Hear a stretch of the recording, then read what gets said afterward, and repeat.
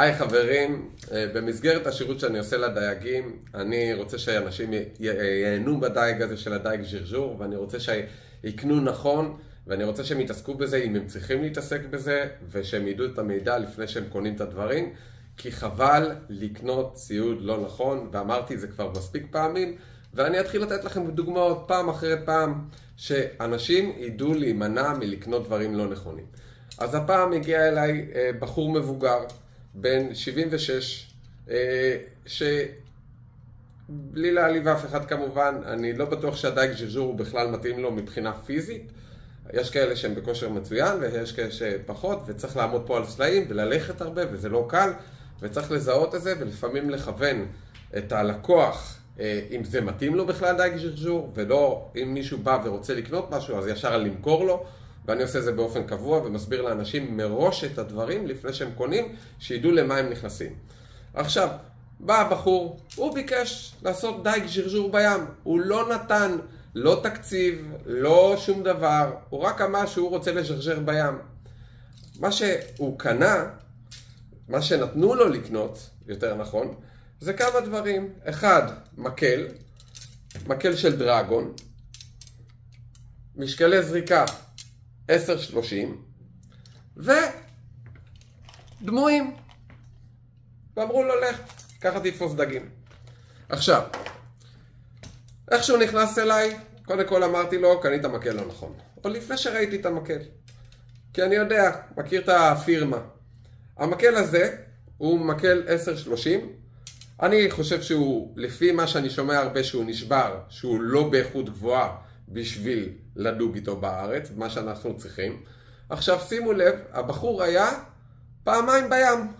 אני לא יודע אם זה בגללו או לא בגללו, אבל כשהחומרים פחות טובים, אז הרבה יותר קל להרוס דברים. אז כבר עוד לפני שידעתי, המקל שלו שבור לגמרי ואין לו מה לעשות עם המקל. אם אתם רואים בזה, אני לא יודע אם רואים במצלמה, המקל שבור בחלק התחתון של המקל. ולכן אני חושב שזו קנייה לא טובה, במיוחד במחיר שהוא אמר לי שהוא שילם עליו, שאפשר לקנות מקל טוב. דבר שני, כבר אני רואה טבעות הרוסות, עקומות. עוד פעם, אם זה לא טבעות פוג'י איכותיות, אז זה ייהרס בגלל המלח, בגלל כל מיני דברים. עכשיו, סתם כידיעה, כשאני אומר לקנות סט נכון, זה לא אומר שאי אפשר לדוג עם המקל הזה. אפשר לדוג עם מקל 10 עד 30. ממליצים לאנשים לקנות 10 עד 30 להתחלה. אני חושב שזה טעות. למה? כי יש לנו שתי עונות בשנה. עונת הקיץ, עונת החורף.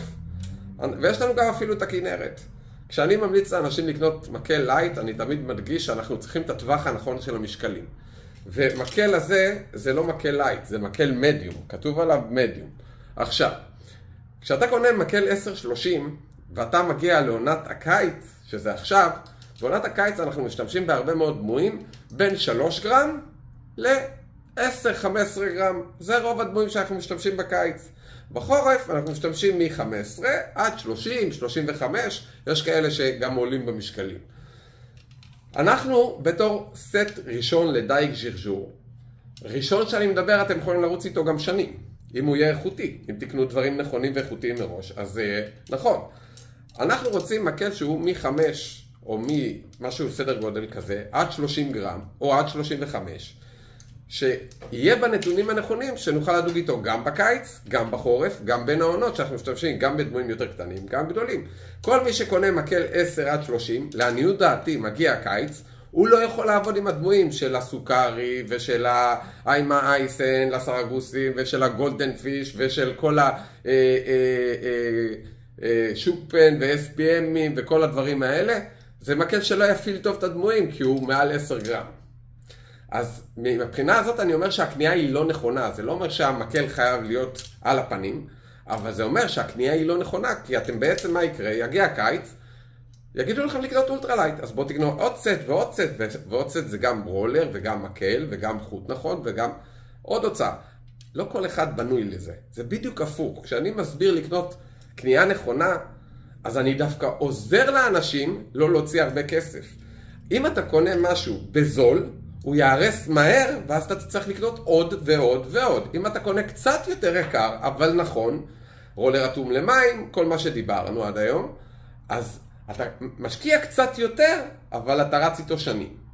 אז זה לגבי המקל, שגם אני רואה שהוא כבר שבור, וגם המשקלי זריקה, לדעתי, לא נכונים, במיוחד שהבחור רצה ללכת לדוג גם בכנרת, ורוצה אה, לדוג בקיץ עכשיו, שיהיה לו קשה להפעיל את הדמויים הקטנים, וזה לגבי המקל. לגבי עוד משהו ששולחים לקוח, שאין לו מושג בדייג הזה, הוא לא יודע מה הוא עושה, ואז מה שהדמויים שהוא מראה לי שמכרו לו, זה דמוי כזה, שמרגישים שזה דמוי סיני לא איכותי בכלל, אין לו משקל, ומן הסתם הוא לא יעוף בכלל.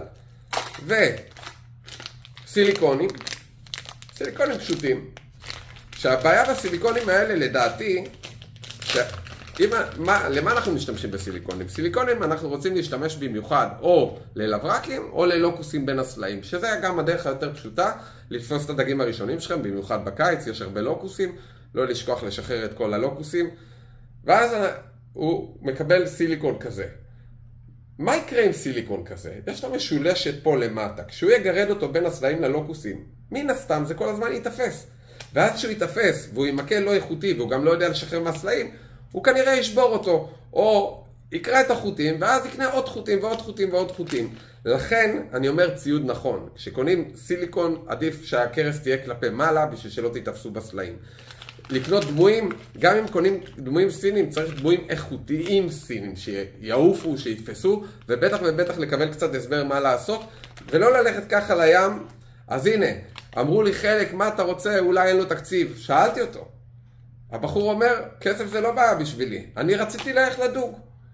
אז זה לא חוכמה לבוא למכור, צריך גם לדעת להסביר. עכשיו אותו בחור, ישבתי, ראיתי את המצב שלו הפיזי, הסברתי לו את זה, הסברתי לו במה כרוך הדייג ז'רז'ור, הסברתי לו שכנראה הוא לא יתפוס דגים אם הוא לא יבין מה הוא עושה, והסברתי לו שהוא צריך לקנות ציוד נכון, אבל אני לא בטוח בכלל שזה בשבילו. אחרי שיקול קצר, שהוא הבין את הדברים כמו שצריך, ולמה קשה לתפוס דגים בז'רז'ור והכל, הבחור החליט לוותר על הדייג ז'רז'ור ולהתעסק בפיתיונות, ששם הוא יכול לשבת, לשים פיתיון, יש איזה ריח, יש לזה טעם, והוא יתפוס דגים. דייג ז'רז'ור היה ממשיך עוד שנה, שנתיים, ואולי היה תופס דגים והיה מוציא עוד מלא כסף. אז ככה עוזרים ללקוח בצורה נכונה, בצורה אמינה, בשביל שהוא יבין מה הוא עושה, ולא יקנה סתם. כמו שאני אומר, קנו איפה שאתם רוצים, אבל תקנו ציוד נכון, ותבינו מה אתם קונים. פישין אדיקט, שמח לעזור.